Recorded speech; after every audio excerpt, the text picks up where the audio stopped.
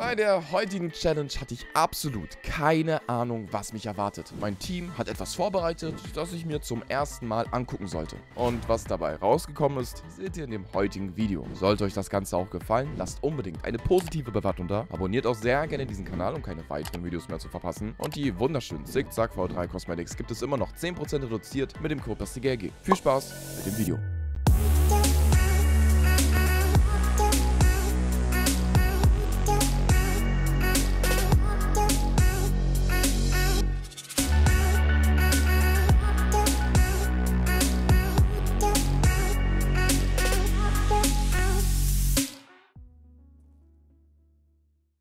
Also, ich befinde mich auf einem Server.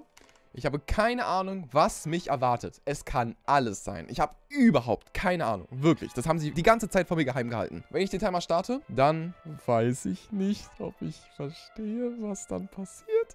Ach, Mann. Vielleicht macht es mir ja Spaß. Vielleicht schätzen sie mich ja komplett falsch ein. Drei, zwei, drei, zwei, drei, zwei, drei, zwei, drei, zwei, eins. Ich will mich irgendwie nicht bewegen. Es kann basically ja nur getriggert werden, wenn ich jetzt laufe, oder? Hopp! Hopp! Hopp! Okay, Minecraft einfach durchspielen. Speedrun. Einfach schnell, einfach normal durchspielen. Vielleicht ist es das. Vielleicht haben sie gesagt, oh Gott, Basti, du hast so lange schon kein normales Minecraft mehr gespielt. Also einfach ganz normal, ohne irgendeine Challenge. Deswegen mach es doch einfach mal. Ich bin mir eigentlich ziemlich sicher, dass ich gerade kein Bambus abgebaut habe. Warte mal, ich hatte davor drei Sticks und ich habe jetzt sechs Bambus bekommen. Das heißt, ich habe was bekommen. Warum bekomme ich Bambus? Warte mal, was passiert, wenn ich Schaden bekomme? Ähm, nichts. Okay, warte mal. Ich vercraft es nochmal.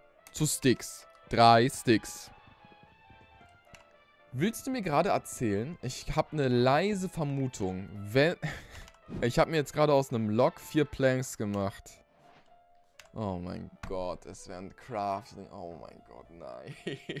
Nein, das bedeutet, warte mal ganz kurz, ich muss ganz viel in meinem Kopf gerade nachdenken. Sozusagen, alle Sachen, die ich halt mir ercrafte, werden wieder zurückgecraftet. Oh mein, warte mal, das bedeutet, wenn ich jetzt mir schnell eine Spitzhacke... Aber wenn ich jetzt ihn platziert habe, der bleibt ja jetzt da. Also der kann jetzt ja logischerweise nicht abgebaut werden. Und ich krieg halt Bambus, weil Sticks kriegst du halt auch aus Bambus. Es gibt halt bei manchen Items mehrere Crafting-Rezepte. Du kannst rein theoretisch Sticks halt über Bambus bekommen, wie aber auch über Sticks. Also so oder eben, eben so. Ich verstehe. Aber kann ich nicht rein theoretisch... Also es ergibt ja gar keinen Sinn, jetzt zu sagen, okay, guck mal, ich mache jetzt schnell ein Schwert. Aber wobei, es ergibt schon Sinn um jetzt Chicken zu killen. In der kurzen Zeit kriege ich es jetzt vielleicht kurz hin, die noch zu killen, genau. Und dann ist es jetzt wieder, also um drei Chickens zu killen, muss ich mir einfach zweimal ein Schwert machen. Wow. Das ist was Besonderes. Ich glaube, da lohnt sich das ja noch nicht mal, ein Schwert zu machen. Teilweise. Wenn wir es aber jetzt einmal schaffen, uns zum Beispiel einen Ofen zu machen. Ein Ofen bleibt ja stehen und dann haben wir ja... Ja, Moment, Moment, Moment. Warte mal, wir machen es mal ganz kurz so. Machen uns eine Spitzhacke. Was? Hilfe, ich werde ver... Äh? Ähm... Aua, mein Kopf, er tut weh. Äh... Jeder einzelne Cobblestone ist ein Gewinn. Wir brauchen einen Ofen, damit wir an Essen rankommen. Drei Cobblestone, vier Cobblestone, fünf Cobblestone, sechs, sie sieben, acht. Zack. Und jetzt können wir schnell das hier braten. Nee, oder? Hat sich gerade mein Fleisch wieder zurückverwandelt in Raw Chicken. Oh mein. Okay. Also, ich verstehe, in was für eine Richtung das hier gehen soll. Alles klar. Ich verstehe. Alles klar. Okay. Wir können auf diese Art und Weise gerne spielen. Ich habe damit überhaupt kein Problem. Ich kann mir gerne was einfallen lassen. Ich mag das. Das ist eine Challenge, bei der man erstmal wieder ein bisschen nachdenken muss. Alright. Also, ähm, muss man denn zwangsweise in Minecraft Tools haben? Also, muss ich eine Spitzhacke haben. Brauche ich eine Schaufel? Brauche ich eine Axt oder so? Ich kann halt Bäume auch mit der Hand abbauen. Das dauert ein bisschen länger, aber es geht. Das Einzige, was ich halt brauche, ist Enderaugen. Ja, ja, ja, ja, ja. Ich glaube, das sollte eigentlich vielleicht gehen. Ja. Ofen mitnehmen. Wie ist es jetzt? Verwandelt sich der Ofen jetzt in acht Cobblestones? Muss ja, ne? Ich werde jetzt gleich acht Cobblestones im Inventar haben. Ja, habe ich bekommen. Ey, das ist eine nice Challenge. Wir müssen uns erstmal so ein paar Sachen einfallen lassen. Kettenrüstung. Oh. Ja, sowas ist interessant. Stell dir mal vor, wenn wir jetzt bei einem Villager uns Kettenrüstung ertraden, was sollen wir dann bekommen? Feuer? Ich denke nicht. Das ist ja auch, also das wird es nicht sein. Ja, oder ich nehme halt sowas wie ein Trident. Denn ein Trident ist ja zum Beispiel nicht craftbar. Ich hätte den großen Vorteil mit einem Trident, dass er sich nicht zurückcraftet und ich hätte trotzdem halt eine Waffe. Das wäre eine Option. Das könnte man rein theoretisch machen. Oh mein Gott, nimm Braustände. Oh, true. Ich glaube, wir, warte mal, warte, warte, warte. Wenn wir ganz viele Dörfer looten mit Kirchen und wenn ich einen Brewing Stand abbaue, den craftest du eben aus drei Cobblestone und einer Blaze Rod, dann haben wir auch einen großen Vorteil. Ja, ja, ja, ja, ja. Ich verstehe. Goldene Äpfel. Warte mal, kriege ich jetzt Gold und Äpfel? Oha, wie gut. Das ist ja auch, das ist mir lieber, als, sag ich mal, den Gap jetzt so zu haben. Sag ich dir ehrlich. Weil ich kann jetzt sogar direkt den Apfel essen. Guck mal, das ist gar keine Challenge für mich. Ist einfach leichter. Ist es einfach leichter. Oh, das Gold wird gerade gerade zu Nuggets. Oh. Ich würde erstmal ein Dorf finden, WTF. Also, das äh, habe ich jetzt so auch nicht erwartet. Dann gehen wir da erstmal pennen und dann haben wir erstmal unsere Ruhe. Mein Inventar sieht schrecklich aus. Hallo, Golem, möchtest du mir helfen? Golem, Golem, Golem, ich brauche deine Hilfe. Bitte, bitte, bitte, bitte rette mich, bitte rette mich, bitte rette mich. Ja, danke. Oh mein Gott. Ha, ha, ha, ha. Legt euch lieber nicht mit mir an. Ich bin stärker. Gut. Nehmen wir uns aber erstmal die Weizenblöcke mit, weil die verkraften wir ja so oder so zu Weizen. Das ist ja gar nicht so verkehrt. Und wenn ich das Teil abbaue, dann kriege ich ja auch ein Eisen. Guck, ich kriege jetzt ein Eisen und dann habe ich Nuggets. Aber das können wir auf jeden Fall für später gebrauchen, wenn wir zum Beispiel mal kurzzeitig unser, ja, unser Portal anzünden wollen. Das Beste, was wir machen können, und das möchte ich eigentlich machen, ist den Nether heute in der Challenge komplett skippen. Das bedeutet, ihr werdet sagen, was hier, das ist komplett dämlich, aber wir können uns den heute das allererste Mal ersparen, weil wir einfach über Dörfer und das Abbauen eines Brewing Stands oder wenn wir zum Beispiel in einem Iglo einen Brewing Stand finden, können wir uns so die Blaze Rod zusammenfarmen. Ja, und Enderperlen, das wird kein Problem sein, sage ich, weil Enderperlen können wir halt entweder Enderman, die uns über den Weg laufen, killen. Da vorne ist einfach noch Machendorf. Perfekt. Und dann gucken wir mal. Fire Charges sind Blaze Powder. Ja, Fire Charges kannst oder musst du mit Blaze Powder machen. Und die kannst du ja ertraden bei Piglins. Das ist auch ein guter Call. Leute, und hier haben wir nochmal Redstone und ein Eisen. Richtig, richtig gut. True. In Rune Portals haben wir auch Fire Charges teilweise. Ich würde einfach mal sagen, wir müssen einfach mal die Welt erkunden und dann werden wir das ja... Sehen, sieben Eisen. Ich weiß zwar nicht, ob ich das jetzt halt überhaupt groß brauchen werde, aber schaden kann es ja nicht. Deswegen nehmen wir das mit. Sind einfach mal 14 Eisen to go. So, und genau, das ist jetzt die Taktik. Ihr habt es ja mitbekommen. Das ist hier eine Kirche. Eine ähm, Savannenkirche. Aber hier nehmen wir uns den Broomstand mit und haben unsere erste Blaze Rod. Achtet mal drauf.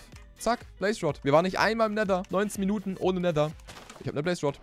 Das ist halt über nice. Ja, dann werden wir einfach mal ein bisschen weiter durch die Weltgeschichte traveln und mal gucken. Rune Portals, weitere Dörfer, sind sehr interessant für uns. Eisen Chestplate. Was passiert? Behalte ich die jetzt an? Es könnte vielleicht eine Ausnahme geben bei Rüstungsslots. Naja, haben wir das auch herausgefunden. Oh mein Gott. Ihr habt recht. Das heißt, ein einzelner Magma-Block sind umgerechnet zwei Blaze Rods. Ja, mal gucken, was wir unter Wasser so finden können. Da müssen wir uns auf jeden Fall beeilen, dass wir den auch dann schnell abgebaut bekommen, den Magma-Block. Ausprobieren kostet ja nichts. Aber ich glaube, wir müssten jetzt erstmal uns darum kümmern, dass wir vielleicht den Kollegen töten. Und den müssen wir heute mal ausnahmsweise mit der Hand killen. Also, wir müssen ihn nicht mit der Hand killen, aber alles andere dauert halt, wenn, vielleicht zu lange. Weil wir uns dann wieder neu craften müssen. Wir machen es einfach schnell so. Ey, guck mal, das wäre cool, hättest du jetzt was gedroppt, weil ich hätte es an sich schon mal verdient, sagen wir mal so. Oh, guck mal, Magma-Block. Weil Magma-Blöcke auch gar nicht so selten sind, be Habe ich hier vielleicht irgendwo einen... Ja, auf Magma-Blöcken kann ich ja eh auch atmen. So, wir haben jetzt einen Magma-Block. Mal gucken, was daraus wird. Bitte, komm, wenn es funktioniert, Leute, dann ist es der Big, Big Jackpot. Magma Cream? Komm, ich mache schon in der Hoffnung nochmal mehr. Es wird funktionieren, es muss funktionieren. Haben wir gleich Blaze Powder? Blaze Powder! Junge, wie gut. Einfach die Challenge zu unserem Vorteil machen. Das ist es. Wir haben's. So, was sagt mein Konto? 11 Blaze Rods. Das ist äh, in Ordnung. Da ähm, sage ich nicht äh, nein. Das passt. Reicht. Und jetzt brauchen wir nur noch Enderperlen. So wie wir gerade eben den einen Enderman gekillt haben, können wir es jetzt ja die ganze Zeit rein theoretisch machen. Das wird sich eventuell ein bisschen ziehen. Dadurch, dass die Blaze Rods jetzt schnell gingen, würde es, glaube ich, bei dem Enderman oder generell bei den Enderperlen ein wenig anders sein. Ich werde es aber so machen, sobald wir einfach eine Enderperle haben, werden wir schon losziehen und den Stronghold suchen. Damit wir auch genau wissen, wie viele Perlen wir dann brauchen. Da vorne, ja, das ist halt fast schon optimal. Die anderen Monster sind natürlich da ein bisschen doof. Sehr gut. Ja, dann killen wir die jetzt einfach mal mit der Hand. Wir können uns auch meinetwegen schnell ein Schwert machen. So ist jetzt nicht. Will jetzt nicht so sein. Oh, Spinne, du bist ein bisschen anstrengend, ne? Okay. Ja, das ist natürlich jetzt ein anderes Problem. Wo ist das Skelett? Hinter mir? WTF? Tiefseetaucher? Hab noch nie so oft gegen äh, Skelette unter Wasser gefightet, muss ich sagen. Oh nein. Oh. Wir müssen warten, bis Tag wird. Okay, das ist eine richtig blöde Situation, muss ich sagen. Oh mein, was ist denn da? Oh. Mann, ich werde die Endermen in Ruhe killen können, aber Bruder, was ist das denn? So, die sterben, aber da sind noch zufälligerweise ein paar, viele Creeper und auch noch ein paar Unterwasserskelette. Wie kriegen wir das am besten hin? Ja, deswegen danke, dass ihr die für mich tötet, aber mir einfach nichts droppt. Ein Dreizack wäre halt so gut. Ja, aber kriegt man halt einfach so easy schnell einen Dreizack. Ein Wassereimer hat doch kein Crafting-Rezept. Ach, so meint ihr das? Ja, warte mal. Weil man den Wassereimer ja nicht direkt craften kann. Ihr habt recht. Von der Logik her sollte der ja da bleiben. Genauso auch wie ein Lava-Eimer. Und das könnte eine Waffe werden. Nee, ich glaube, ich würde es lieber so machen. Passt auf. Ähm, wir suchen entweder einen Lavasee. Ich würde sagen, wir müssen eigentlich in den Nether gehen. Trotzdem. Obwohl ich gesagt habe, yo, wir spielen unter Minecraft durch, ohne in den Nether zu gehen. Wir werden heute auf die Nether-Festungen verzichten. Aber normal in den Nether gehen, denke ich mal, um in einen Warped Forest zu gehen.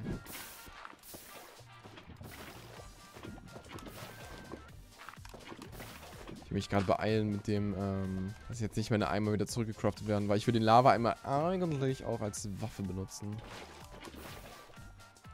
Alright, damit können wir an sich eigentlich in den Nether gehen. Hoffen auf einen Moment. Ich habe noch Hunger. Ich habe ganz doll Hunger. Hoffen auf einen Warp Forest, um ein paar Endermen zu killen mit Boot und Hand oder mit Lava oder wie auch immer. Warp Forest. Natürlich, ein Crimson Forest. Ich meine, wir haben viel Gold. Und Piglins, wenn das erstmal auf dem Boden liegt, dann ist doch erstmal alles chillig. Und du switcht jetzt mal ganz schnell zwischen, yo, ich gebe dir Enderperlen und keinen Müll. Okay, das klar, danke dir. Wenn ich diese Dinge abbaue, kann man die aus Netherwarzen craften? Ja, kann man. Ich kann so rein theoretisch Netherwarzen bekommen, ohne in einer Festung zu sein. Oder? Denkfehler? Nein, richtig. Du kannst diese Blöcke zwar mit Netherwarzen craften im 3x3, aber du kannst die nicht endcraften, um Netherwarzen zu bekommen. Ja, wir haben Glowstone, Eisen. Äh, I guess, er hat auch keinen Bock mehr. Enderpen hast du mir auch nicht gegeben. Ich könnte ihn schön halt Obby trappen, aber... Nein! Mein Eimer. Ich denke mal, Enderperlen werden da auf jeden Fall jetzt spätestens keine mehr sein. Hätte ja klappen können. Ich würde sagen, wir werden jetzt einfach einen Enderman versuchen, in der Nacht mal zu töten. Mach Cleric, oder? Leute, also mit einem Cleric traden... Ja, mit einem Cleric traden. Also ja, ihr habt schon recht, ne? Ich würde das Holz ja an sich schon im Inventar behalten. Ja, könnten wir schon machen. Holz ist doch nervig. Lieber Clay. Clay craftet sich ja jetzt zu nichts zurück, oder? Wobei Clay... Ah, du kriegst aus einem Clay-Block keinen Clay. Dann machen wir das lieber bei Clay. Clay ist heute echt, glaube ich, die bessere Alternative als Holz. Bauen wir auch halbwegs schnell so ab. Ich denke, das sollte gehen, ja. Ähm, wir brauchen eben einmal einen Villager. Er hier bietet sich gerade perfekt an. Dann machen wir einmal unseren Einmal unseren Crafting Table. Cobblestone wird überbewertet. Wir nehmen einfach direkt den Blackstone. Also, was wir jetzt machen. Watch this. Hm. Ja, komm, einer von denen wird's. Jawohl, Jungs. Ihr wisst, was ein guter Job ist, ha? Danke. So, das ist der Trade der Begierde. Oh mein Gott, ich habe gerade gedacht, warte mal, wo sind meine Emeralds? Das ist der Way to go. Damit machen wir das. Mehr Clay Farm. Und dann irgendwann alles in einen Cleric reinballern. Also die Klee-Klee-Taktik. Cleric, Cleric, Klee-Taktik. Ah, ich muss nicht. Alles klar. Alright, lass uns Clay farmen. Alright, 17 Emeralds. Es geht voran mit ein bisschen Clay. Es ist halt ein bisschen langatmig, aber wir haben halt den großen Vorteil, dass wir jetzt hier echt einen langen, langen Fluss haben, in dem schon direkt ein bisschen was los ist. Wir müssen ja auch zum Beispiel jetzt gar nicht 15 Enderaugen holen oder so. Wenn wir jetzt erstmal nur 6 oder so holen, passt das auch erstmal, würde ich fast sagen. Dann gucken wir mal, wie viele wir einfach danach noch trainen müssen. Also erstmal hinlaufen, dann meinetwegen nochmal zurücklaufen. Ist ja auch nicht verkehrt. Oh, Junge, okay, jetzt geht es aber auch gerade gut ab mit den äh, Emeralds, muss man sagen. Also Clay Trading, guckt euch mal ganz kurz an. Wir haben über, also wir haben fast einen Stack. Und mir kam es jetzt gar nicht so krass lang vor, wie wir gefarmt haben. So, moin moin, Kollege. Einmal das bitte. Mal gucken, ob er direkt den Enderpen Train gibt. Alles wäre halt schon gut. Beziehungsweise schon wichtig. Wir haben das lange nicht mehr gemacht auf diese alte Oldschool-Art und Weise. Komm bitte, bitte.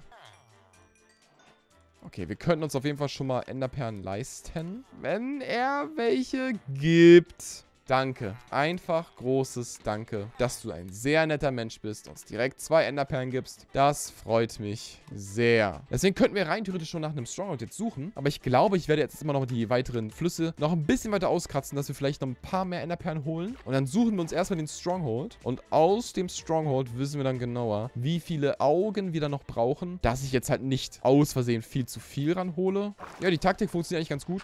Hand, Play, ja, Mason. That's it, basically. Mehr ist es nicht. Enderperlen können aber auch erstmal geshoppt werden. Jetzt haben wir sechs Stück erstmal. Ja, ich würde einfach mal sagen, Leute, lasst uns halt einfach mal ähm, zum ersten Stronghold einfach mal ähm, eine Perle werfen. Wir werden dann früher oder später hier nochmal zurücklaufen. Aber einfach mal auschecken, wo das Ganze wäre. Und vielleicht finden wir auf dem Weg noch mehr Clay und oder Schnee. Und den werden wir dann auch abfarmen. Es geht in Richtung Norden. Nicht kaputt gehen.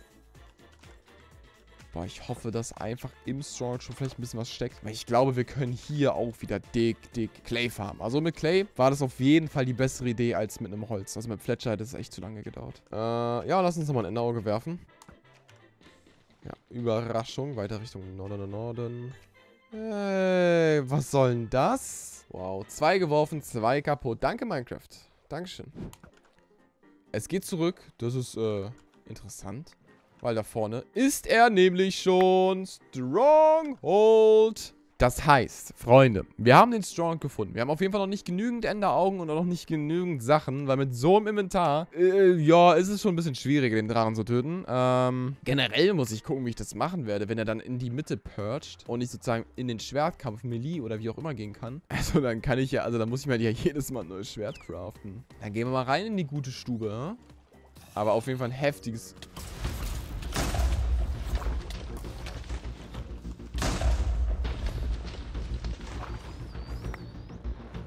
Ja, ich habe keine Ahnung, wie ich noch lebe, aber wir haben es geschafft. Vielleicht sollten wir einen anderen Eingang nehmen.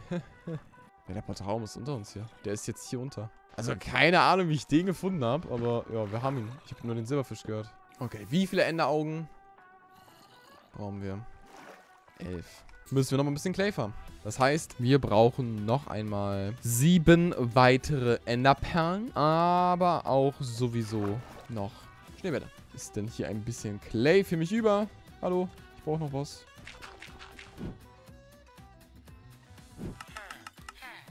Acht Stück? Okay, wir brauchen noch drei. Also wir könnten rein theoretisch, das habt ihr auch eh schon vorhin vorgeschlagen, mit einem Farmer das Ganze machen. Ich glaube, Weizentrade sollte eigentlich ganz gut aufgehen.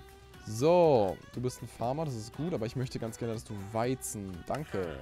Da, da, da, danke. Dann können wir nochmal die drei restlichen Enderperlen kaufen. Zack. Elf Stück dabei. Und jetzt ist halt die Frage, was wir jetzt auf jeden Fall brauchen. Essen haben wir an sich genug. Ein super komplett chaotisches Inventar haben wir auch. Jetzt ist halt die Frage, okay, yo, wir brauchen eigentlich Schnee. Ich glaube, da drüben beim Stronghold war ja, glaube eine Tiger. Vielleicht ist ja dort irgendwo nochmal Schnee. So, und es geht auf die Suche nach irgendwie Schnee, nach irgendwas, womit wir die Türme kaputt machen können, die Kristalle. Also wir kommen ins End rein, aber mit dem Stuff werden wir uns keinen Gefallen tun. Das wird echt sonst problematisch. Dort oben, ne? Yes, da ist es. Schnee. Sehr gut. Auf geht's. Dann gehen wir mal da hoch, ne? Alright, passt. Dann. Aber das Gute ist ja jetzt an der Stelle, dass wir keine Durability-Probleme haben werden. Und die Schneebälle, die sollten ja jetzt in unserem Inventar eigentlich, jetzt, also, wenn ich jetzt mal logisch denke, die sollten ja eigentlich dort so bleiben. Wir müssen halt nur gucken, dass wir genügend auch mitnehmen. Also, es fühlt sich, muss ich mal so sagen, sehr, sehr weird an, mit so einem Equipment ins End gehen zu wollen. Also, nicht, dass es damit nicht möglich wäre. Ansonsten würde ich das jetzt nicht auf diese Art und Weise probieren. Aber es fühlt sich schon trotzdem sehr merkwürdig an. Aber wir haben es schon mal auf jeden Fall so weit geschafft, dass wir das Ding hier aktiviert bekommen. Wir haben keine richtige Waffe. Äh, die werden wir uns dann ab und zu immer wieder craften. Ja, werden wir schon irgendwie hinbekommen. Ist das low mit diesen fünf Beeren, so einer Karotte und so ein bisschen Weizen. Aber wir können uns auf jeden Fall ein bisschen was machen. Dementsprechend hoffe ich, dass ich das mit den Schneebällen ganz gut hinbekomme. Ich habe das lange nicht gemacht mit Schneebällen und teilweise sind die echt ziemlich hoch. Ähm, ja. Dementsprechend würde ich sagen, lass uns probieren, Minecraft durchzuspielen. Ich ähm, drücke mir selber die Daumen. Hilfe, was tue ich? Oh mein Gott, es gibt kein Zurück mehr. Oh Mann. Alle oh Gott. Okay, allein das hier wird ein Krampf. Allein, also... Ah. Oh Gott, ich muss hier raus. Na dann. Ja, mal bitte nicht runterfallen. Das wäre cool. Gehen die Dinger denn überhaupt mit Schneebällen kaputt? Das hatten wir teilweise auf manchen Servern. Es geht. Alright, sehr gut. Hoffen wir, dass die Schneebälle reichen. Ich darf jetzt nicht irgendwie gefühlt 10 Stück mal an einem verwerfen. Weil die fliegen halt schon nochmal deutlich anders. Oh Gott. Oh Gott.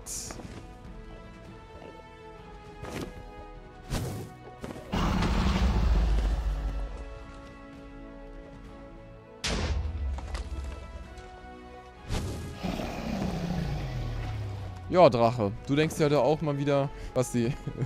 was machst du für eine kranke Sachen?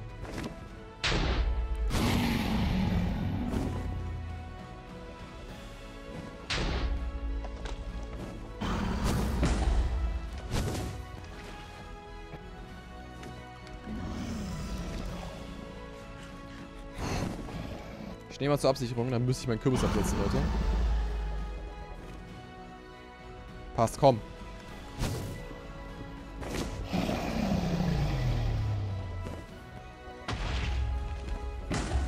Let's go. Ich glaube, ich habe alle. Ich glaube, ich müsste alle getroffen haben. Ähm, was gut ist. Das sind hier die Crafting Tables, die ich schon mal aufstelle für meine ganzen Schwerter, die ich gleich craften werde. Nein, noch nicht. Welcher fehlt denn? Ah, der. Okay, aber das sollte klar gehen. Gleich. So, Brudi, wenn du jetzt purgst, ich bin ready. Schaden. Ein bisschen Schaden. Wir nehmen alles, was wir kriegen können. Mit der Hand. Ist mir egal. Ich glaube, es ist schlau, mit der Hand das zu machen. Oder? Bro! Ganz ehrlich, ich habe noch Gefühl, ich habe den Gefühl noch nie mit der Hand geschlagen. Meine Hand macht voll viel Schaden. Also, ich habe irgendwie gedacht, dass das also weniger ist.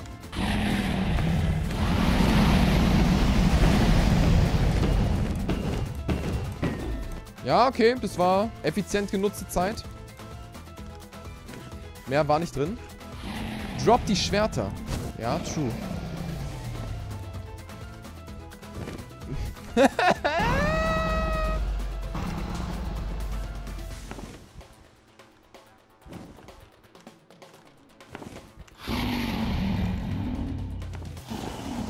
komm, Bro, komm. Wir verstehen uns doch. Wir sind doch gute Kumpels. Komm mal runter. Wehe. Ich muss jetzt...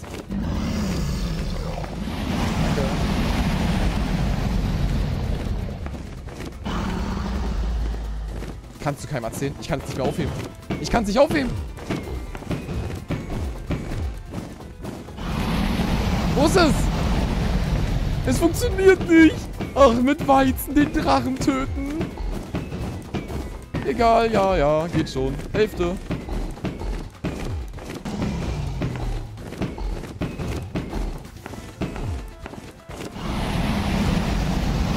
Hier, nimm meinen scharfen Feuerstein. Okay, sorry, Mister. Kann mir jetzt mal mit erklären, was das hier jetzt ist? Ach, jetzt? jetzt geht ihr in mein Inventar oder was? Aber wenn der Drache da ist, dann habt ihr Angst, ne?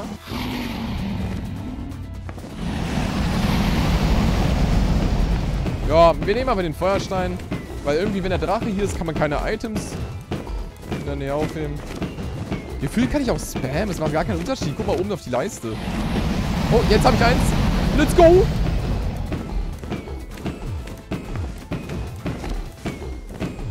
Ja. Ja, ja, ja, ja, ja, ja. Let's go! First try. Freunde, gar kein Problem.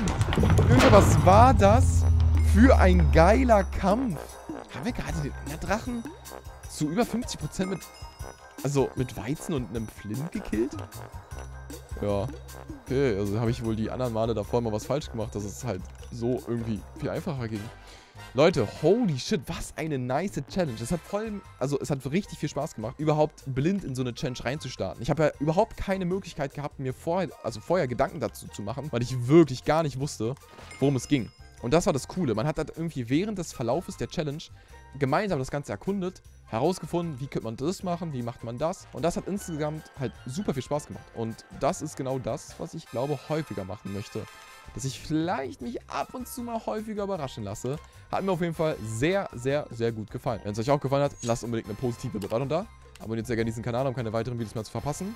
Und ansonsten sehen wir uns im nächsten Video oder im nächsten Livestream. Bis dahin macht's gut, haut rein und äh, ciao, ciao.